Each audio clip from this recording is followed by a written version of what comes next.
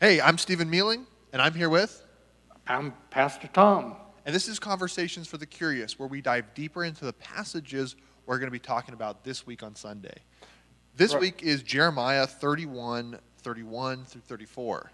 And it's a big deal because here that we're seeing in the Old Testament where God's going with humanity. Mm. It's that the idea that saying, God is not saying that I want you to follow a bunch of rules outside of yourself.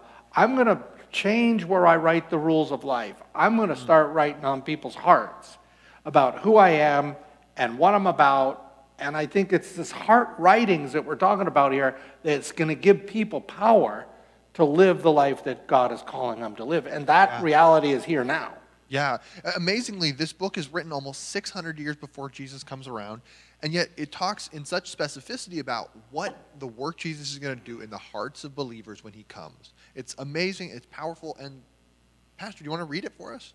Okay, well, behold, the days are coming, declares the Lord, when I will make a new covenant with the house of Israel and the house of Judah. It will not be like the covenant I made with their fathers on the day I took them out of by the hand to bring them out of the land of Egypt. My covenant they broke, though I was husband, declares the Lord. So, this idea that's saying here that there was a one covenant that was made, that God came and rescued these people out of slavery for freedom uh, and brought them and made them his own children, got them outside of the bondage of the Egyptians. Okay, and he made a covenant with them. Okay, but this covenant I will make with the house of Israel after those days, declares the Lord. I will put my law within them, and I will write it on, here we go, their hearts. And I will be their God, and they shall be my people. So that there was a covenant that God is saying to these people, uh, I took you out of the land of Egypt. You all got that. I rescued you. Now, here's a way you can respond to me. And he gives the, that's where Moses comes in and gives the Ten Commandments. He's saying that's, that's not working. So I'm going to do something else in the future. This is 600 years before Christ. Thank you very much, Stephen. and God is going to do something new. So he's describing this I will be their God, and they shall be my people. And no longer shall one teach his neighbor and each his brother, saying, Know the Lord, for they will all know me, from the least to the greatest, declares the Lord. For I will forgive their iniquity and remember their sin no more. So that forgiveness of sins is a key issue there that I really didn't emphasize too much when I put this together, but that, that is where the new covenant comes in. Yeah. So there's two rescues, really. We got the rescue of the children of Israel from Egypt, and there's a new rescue, which is the releasing people from bondage of the things that stop them from living the life that God wants them to live, which comes down to two things love God, love other people. Yeah, yeah. Um, one thing, as I read the whole chapter over, is I noticed though, it seems like he's talking about Israel's upcoming captivity in Babylon, and he's warning them about that, but also giving them a promise that one day they'll be set free. So my question is, how do we understand this as a promise to believers when the context of the book and the chapter specifically is talking to Israel? Right. Well, again, we said last week type, anti type. When you go, whoa, whoa, Yeah. I got to explain that one. There's a symbol here of something that happened in the Old Testament. And you can see it. I mean, it's right here dividing between the old and the new. Yeah. Okay. And the old, again, it was follow the Ten Commandments, do the will of God little static on set. and a little static on the set. and so he uh, he moved them from uh, to something new. The old was about following the rules of the Ten Commandments. The new is that I'm going to write it on their hearts. And the way he's going to do it is that we're not going to follow these rules written in stone, but it's going to be part of who we are because of what Christ has done for us 600 years before. Yeah, I mean, if we look to this passage to see its fulfillment in Israel being set free from Babylon, we don't see these promises in here ever fulfilled. I mean, any Israelite, any Jew would say this was not fulfilled in freedom from captivity in Babylon. Yet we as believers see this passage as speaking to us, as God puts His law in our, our hearts. He gives us an enriched uh, conscience because we have the Holy Spirit guiding our lives. But let me ask this question it's addressed to Israel. It's addressed to Judea. How do Christians, how do we see ourselves, you know, scripturally as the fulfillment, as the, you know, as we were talking about type, anti-type? How do we see ourselves as the fulfillment of the promises to Israel. Right. Well, the way you could read the Bible basically is that you can see all of the Old Testament is moving towards Christ and hitting that key point of Jesus coming. And he's, he's telling them people something's going to come, okay? And now when we, we are already been, we have seen what has come in Jesus, okay? So when we look at these, we see the prediction coming pointing to Christ, okay? So, and even not to get too complex here, but once it all hits Christ, all of the New Testament is pointing back at Christ. Christ is the fulfillment of all things. Christ is the one who's going to change things. He's going to rescue us from slavery, not from being held by a political government, Yeah. but rather the slavery is that we're stuck. Yeah. We can't live the life God wants us to live.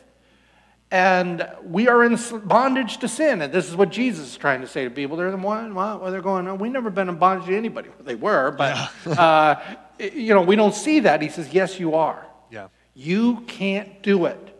You can't make it.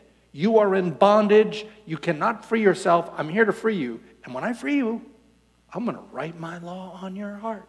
You're going to want to serve me. And you're not going to be perfect, but I want you to know you have been made perfect because of what I've done, not because of what you're going to do. So Christianity becomes a response to the grace of God, Yeah. the fulfillment. Yeah, so so Christians, the believers, we become a kingdom, right? Bible actually describes, you know, in, the Sermon on the Mount, he's building a kingdom, the kingdom of heaven. And that kingdom takes the role of Israel. We become the new Israel. And, and in that way, you know, everyone who is of the old Israel, who was truly faithful and obedient to Jesus, who had faith and followed him, we are in the same lineage spiritually as Abraham, Isaac, Jacob, those obedient, faithful people uh, to God throughout history. And we join this family with a rich history, and we, we join in with their promises. And this is a promise to them, but it's also a promise to us as believers. Yeah, well, there it is in the Old Testament. You know, it's it's a promise. This is coming, and we're living out the reality. But you know, I, I would just say, whoa, there. You know, because it's not necessarily we're living out the reality. I would say that probably a lot of people see Christianity as rules. Yeah. You got to do this. You got to be this. You got to, hey, you got to go to church. You know, which, yeah, church is good. And you probably, if you're a believer, you're going to want to go to church. Uh, but it's not just about here are the rules of how to be a good person that God wants you to be. It's God fulfilling those rules for you Yeah. and forgiving you for your foul ups, where you've gone too far, where you fall short of the glory of God. And so uh, it, it's all done in Jesus Christ. Most religions believe if you're going to get in right with God, you got to do the right stuff. Yeah. Yeah. Where we're saying, no, it's not about what we're doing, it's about what Christ has done for us. Now life becomes living up to what we've received. And see, this is where it's coming from the heart. Yeah. Yeah. Even though our hearts are still messed up, you know, it's like it's not going to happen perfectly until we cross the line into the kingdom of glory and we go to heaven. But uh, it's it's there. We are the forgiven, loved people of God. Yeah, isn't that amazing? It's such a blessing. But, you know, for a covenant, which is a, an agreement, a legal agreement to be established, especially this sort of one that's a priestly one, we need a priest, we need a, we need a system to handle that. And in the longest Old Testament quotation in all of the Bible, which is Hebrews 9, um, it actually quotes this passage in its entirety, or sorry, Hebrews 8, 8 through 12. Um, Got all the numbers memorized. I actually have it What a written- guy. I cheat. I have it written down. Oh, you got it right. but but he goes into talking about how that that Christ is rightfully seen as the high priest of humanity because he is able to establish this new covenant. So wh- why was it essential that Christ would come and Christ would be the high priest of humanity so that we could have this covenant established? Right. I mean, that, that this is what Jesus did. He's, you know, prophet, priest, and king. I mean, the idea of a priest is your go between. Yeah. You know, I like to say, well, it's like a priest is, you know, I've got access to the boss. I can get to him um, because I go to my priest, or, you know, in, in terms of access, you, you know somebody who can get you there. What Jesus does is he opens up that door to get us there into a relationship with God. And it's uh, more than just something written on stone, it's written on the heart.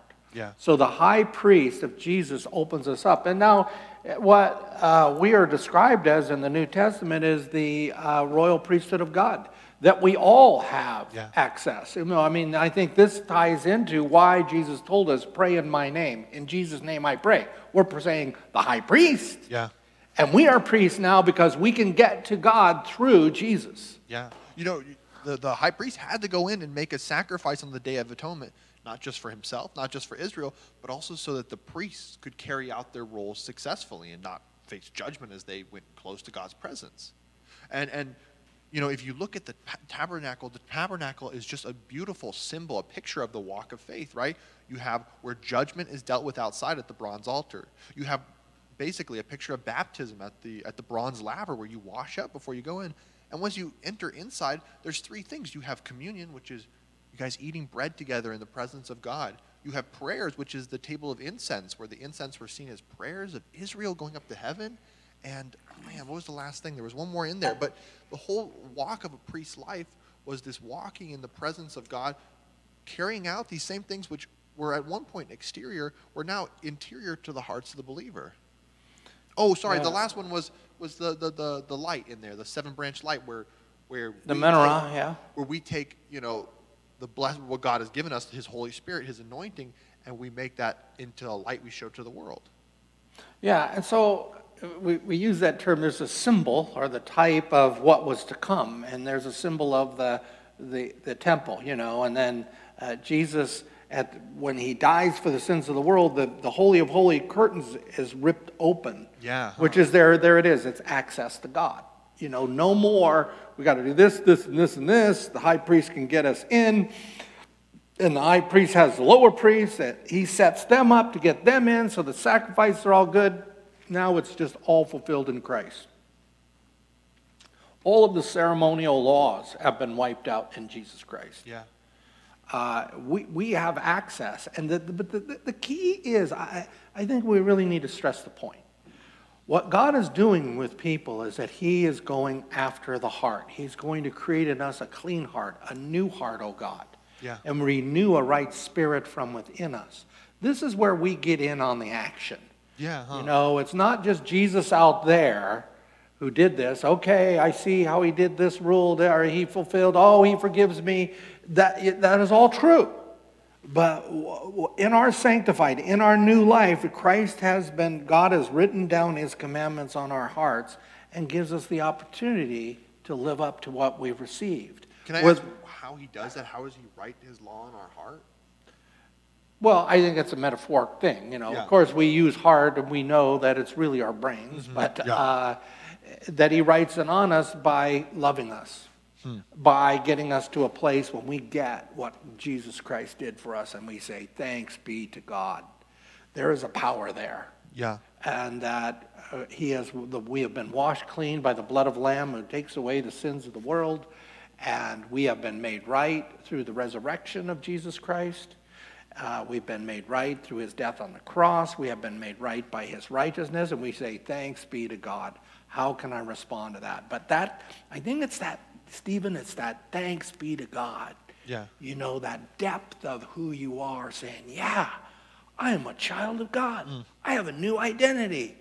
Um, there it is. That's the heart writing, you know, rather than, okay, well, I, I was baptized Episcopalian or Lutheran. Yeah. Yeah. I was baptized Catholic. I go to this church, and my pastor has all the truth of my life uh, about who God is, and I just live my life, whatever.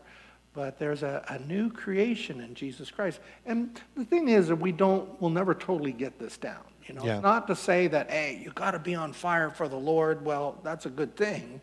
It shows a response, but we're always going to have our sinful nature. But Jesus Christ is our hope. Yeah. He made us right.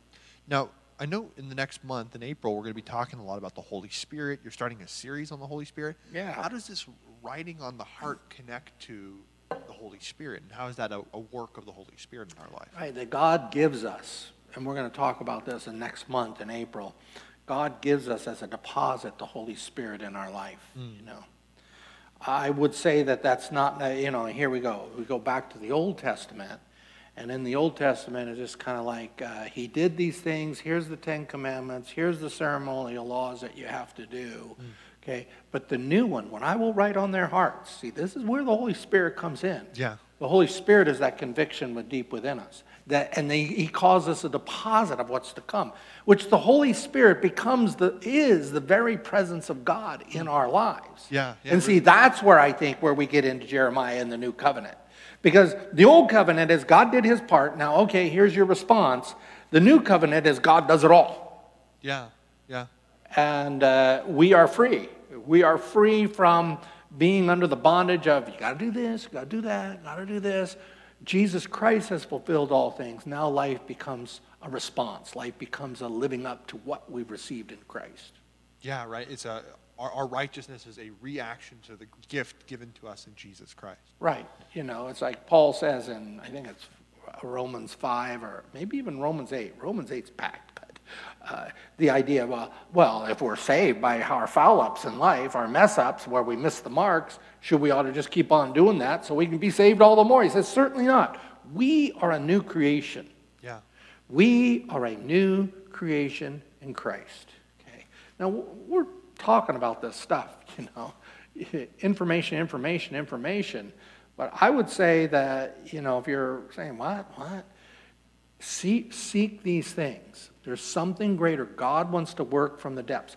I think maybe there's a lot of people who know being a Christian is more than just following a bunch of rules that are outside of yourself written on stone. Yeah. They marvel at us when we mess up, and sometimes rightly so. Yeah. You know, for all the Christians who want to grab a hold of politics and believe that our job is to straighten out society and, you know, uh, get people to follow the rules of God or follow our heritage or they worship their country. Uh, uh, going too far, and we get criticized because that leads us to cruelty and it leads us to doing activities that people kind of know in their hearts. I don't think that's really of God. and that, so the heart clings to the wrong things. And so, but there it is again, you know. We grab a hold of this stuff. What God does throughout the rest of our life, say, let go, let go. You know, you, you want to make yourself righteous by what you do? Let go. You want to believe that you have the truth for society? Let go. You know, it's not to say that we, we don't have to continue in these issues. We do. We, uh, we have to figure out how we live together. But um, when God writes on the heart, uh, the Holy Spirit will convict us when we're gone off of the heart and what Christ has written on our hearts. Uh, if that's the case, why do we get new convictions as we continue in our walk in faith? Like I, the Holy Spirit writes on our heart, we're given a new heart, all these things, but I will will get along in life and I will experience a new conviction for something I didn't know was wrong until I got there later. Is this an ongoing work or is this fulfilled? Right. This is what we call, you know, we get too technical with everybody today, but this is what we call sanctification. Okay? Sanctification is growing in Christ. Sanctification is a lifelong journey responding to God's grace.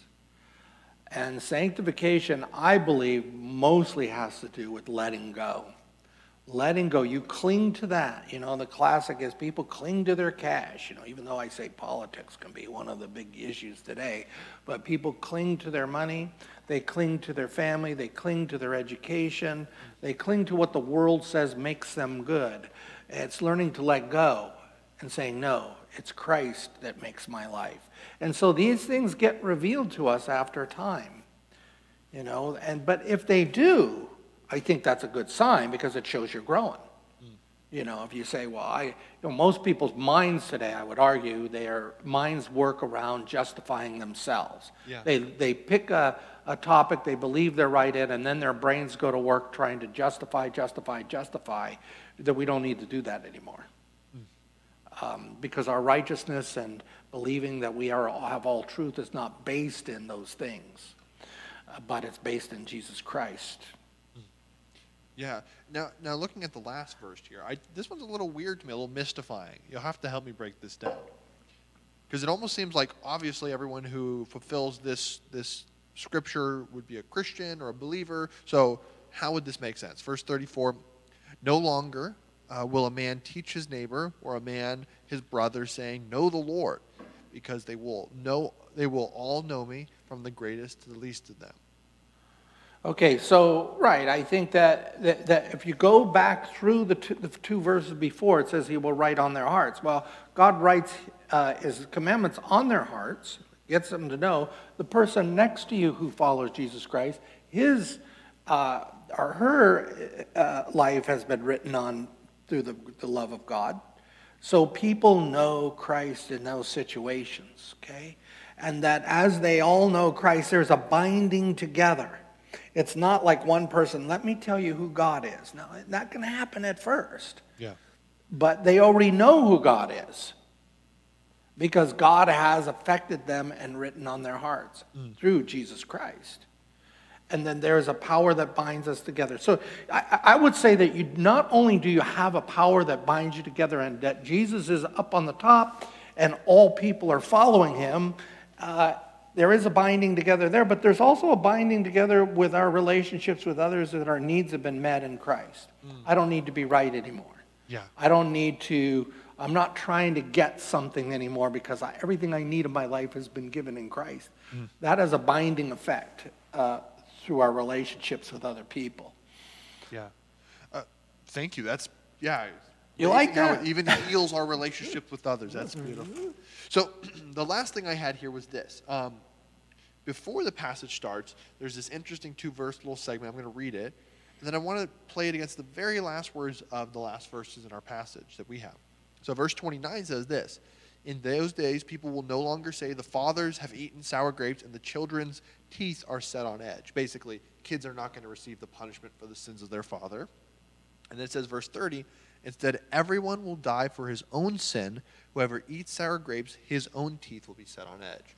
So people are going to receive the punishment for their sin. But then it goes into this whole passage which we just studied about, you know, Jesus fulfilling this role and humanity being saved in Jesus and law being written on their heart. And it ends 34 with this verse For I will forgive their wickedness and I will remember their sins no more. Right. Well, I think that last line is the key to it all. That's what Jesus Christ has done. I will forgive their wickedness. I will remember their sins no more.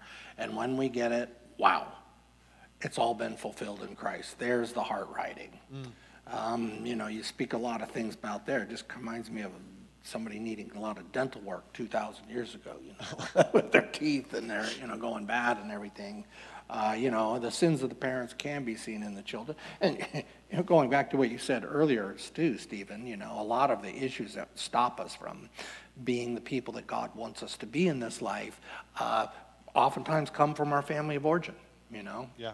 Uh, what makes you a righteous person? Well, we learn that from our parents, either by misunderstanding them or if they're Christian or uh, them intentionally teaching us some things, and it's learning to let go because we are the children of God.